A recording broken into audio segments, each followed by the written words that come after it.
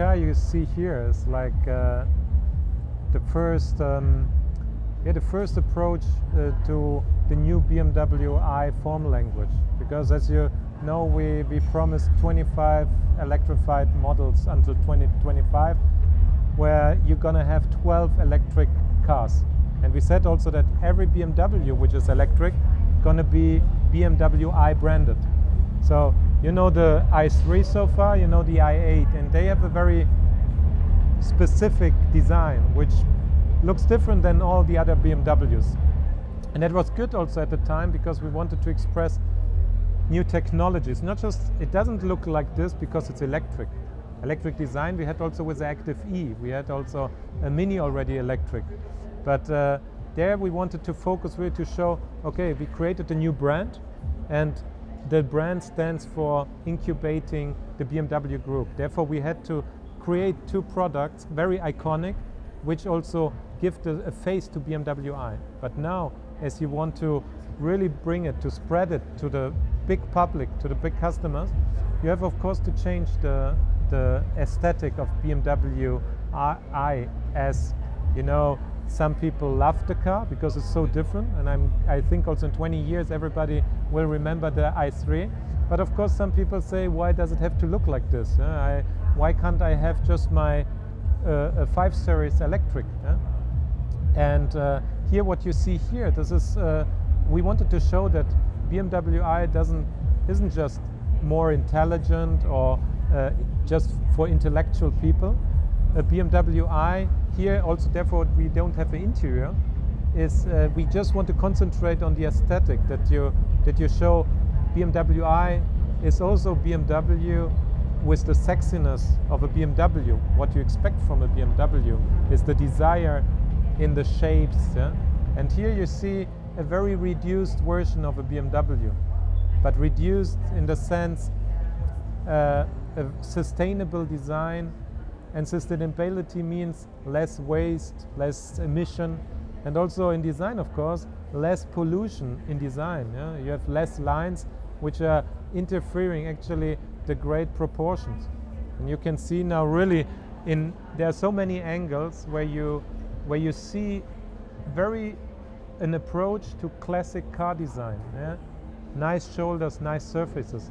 And this is very important for us that when you transport new technologies, when you when you forward in design and you say everything is new, you need always the link to certain heritage, to that you have a link to to qualities which have always been there. If you if you're a car guy, there are certain surfaces you always will love on a car. And you're going to find them also on this car. I mean, you can see, let's say, okay, now we see the side view.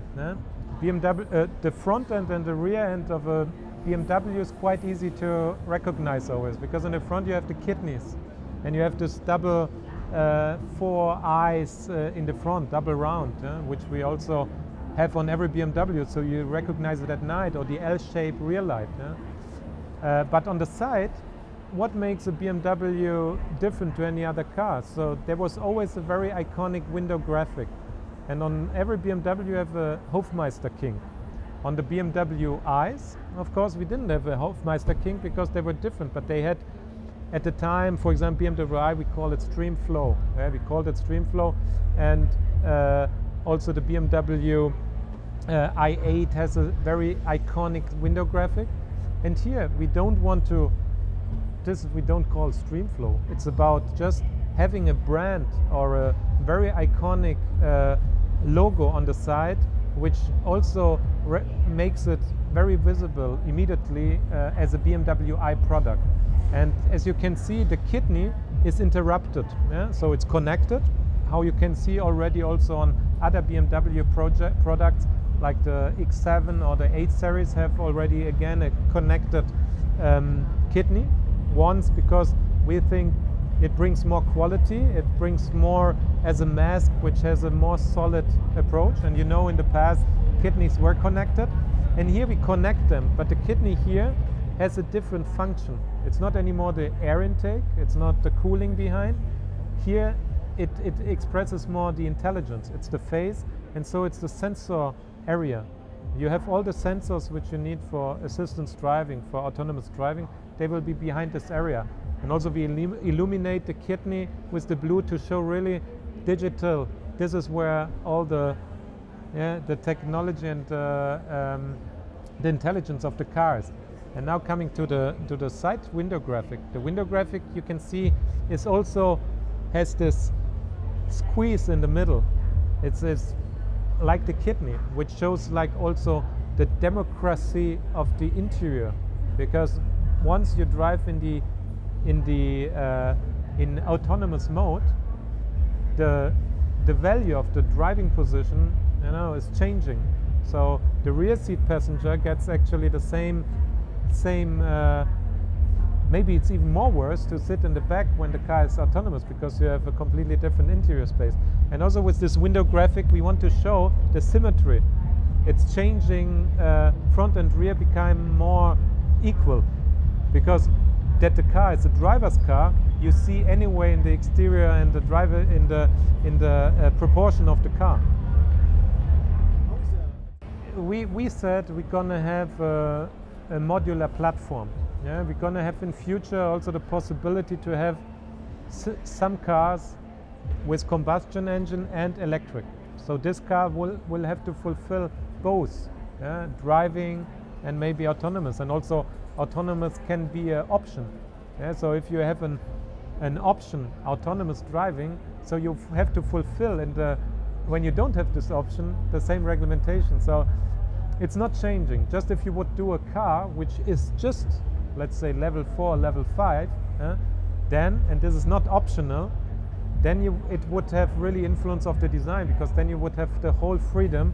Level 5, maybe you don't need pedestrian regulation and you don't need a bonnet. I don't know, but I think for us in the in the midterm future, it won't have such a big impact. More in interior because you will have to offer certain services to the customer when he's driving. So you have to uh, enable the technology and also the geometry that it can work in both mode, modi. Uh, so it can work when you drive because we can't make two completely different interiors. But it has to be really convincing in both modes that when you don't drive, that you have also uh, more, yeah, a, a, a strong uh, experience also in the user interface. Vision efficient dynamics to i8. Yeah? I mean, i8 is of course not one-to-one -one the vision car, but it transports still on the street. It's still everybody looks at it and it's completely different. Huh? So the a vision car is mainly shown on a stand. So a lot of people in the world, they will never see this car. Uh, they will maybe be lucky because there will be an exposition and an event and they're going to see it, but you don't see it. So they will see it mainly on pictures, on media. And you know from your own experience, when a car, you have seen a car, and some people haven't seen it and they tell you, yeah, I've seen the car in pictures, but it doesn't look so. Yeah, but any car. And you say, yeah, but I've seen it in real, it's much more. And so that everybody understands the vision, you have to ex exaggerate. Yeah, because on 2D, you will never be able to, to, to see the car as it is. Yeah? It's not possible. Therefore, you have always this, this point. But it, once it comes to production, you can easily also take 20% off. Yeah? Uh, it will be also uh, for, for the customer better because you can imagine 26 inch wheels, uh, winter tires are more expensive than 22 inch winter tires. So they won't be happy that it's so expensive. And, but we know that in real life, when you see it on the street, you don't have to go so hard. Yeah? My personal view is also that I don't think that um, electrification. Yeah, I don't know even if the if the person who wants an electric car, if he just wants an electric car because of this newness of the high performance or of his green, you know, of his uh, environmental impact.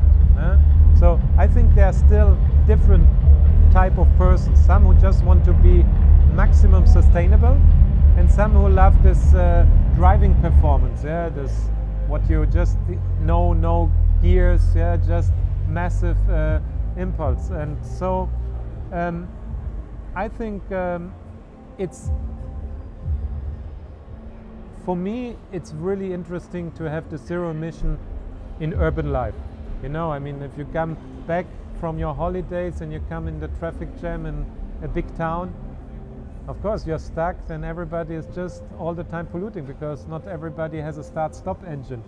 And then it's fantastic if you imagine there's zero emission, but then you know there's the whole story behind, okay, where comes the electricity from?